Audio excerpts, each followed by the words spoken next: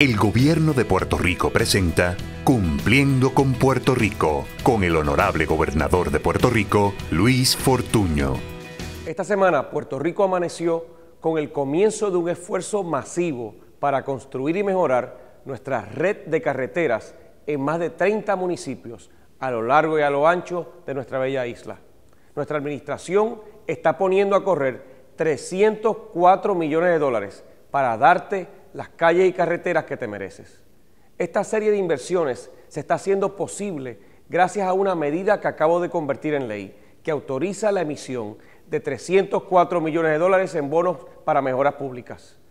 La firmé junto a alcaldes y ciudadanos de la región este, quienes me expresaron su agradecimiento porque por primera vez en décadas estamos trabajando juntos para arreglar la red vial que en esa área ha sido descuidada por tantos años además de la región este, donde se están destinando más de 115 millones de dólares en obras de construcción de carreteras, los municipios a lo largo de nuestra cordillera central también están recibiendo la prioridad que se merecen.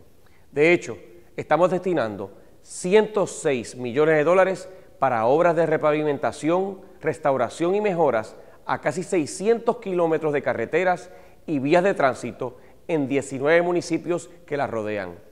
Lo que perseguimos darte con esta inversión simultánea y sistemática en nuestra infraestructura vial es sencillo. Queremos hacer lo que nos corresponde para que tengas calles sin hoyos, carreteras que estén debidamente rotuladas y que te lleven de tu hogar al colmado, a tu escuela y lugar de trabajo de forma rápida y segura.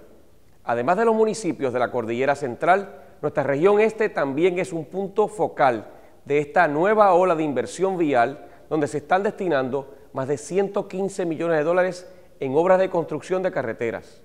Entre los proyectos se destaca la inversión de 89 millones de dólares para culminar la fase 2 de la Ruta 66 en la zona este. Otro enfoque de gran envergadura en el este se halla a lo largo de la carretera 3 y la PR 53, donde estamos dedicando más de 26 millones de dólares. En esta intersección de la carretera 3 con la carretera 53 por años. Cada vez que caen fuertes lluvias, el río se sale de su cauce y se interrumpe por completo el tráfico entre Ceiba, Fajardo y Loquillo, representando un serio problema de seguridad para residentes y visitantes por igual. Gracias a los esfuerzos de nuestra administración, pronto estos problemas serán cosa del pasado. Recuerda que trabajando juntos, Puerto Rico lo hace mejor.